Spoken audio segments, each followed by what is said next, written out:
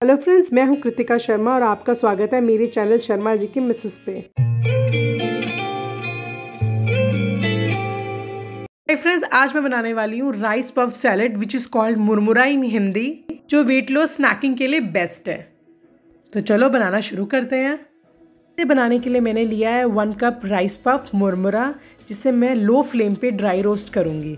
दो से तीन मिनट तक इसे स्पैचुला की हेल्प से अच्छे से मिलाएँ तब तक जब तक कि क्रिस्पी ना हो जाए। राइस पफ वेट लॉस के साथ साथ कॉन्स्टिपेशन को भी क्योर करता है। इसमें स्वाद अनुसार नमक डाल के रोस्ट करें। आपको पता है एंडरसन नाम के एक व्यक्ति ने पफ्ड राइस का आविष्कार किया था न्यूयॉर्क में, वो भी 1902 में। चार मिनट हो चुके हैं और अब ये बिल्कुल रेडी है सर्व करने के लिए। इस राइस पफ सैलेड को सर्व करने के लिए लिया है एक ग्लास जिसमें मैं अपनी सारी लेयरिंग करूँगी वेजिटेबल्स की। सैलेड की पहली लेयरिंग के लिए मैंने लिए हैं चॉप्ड अनियंस करें स्वाद अनुसार नमक।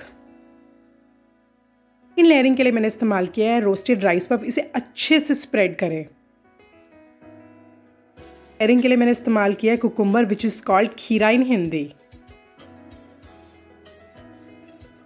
इसके बाद मुरमुरों की एक और लेयर बनाएँ।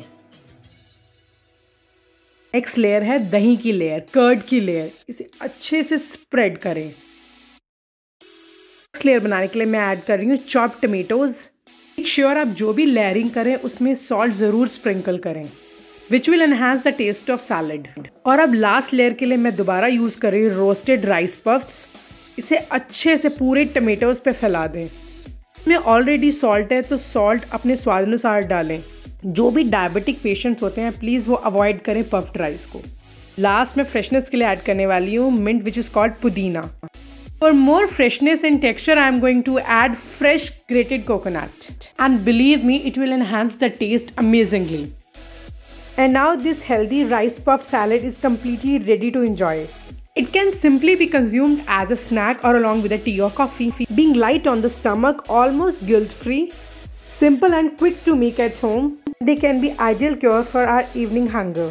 जल्दी से इसे बनाएं और मेरे चैनल को सब्सक्राइब करें थैंक यू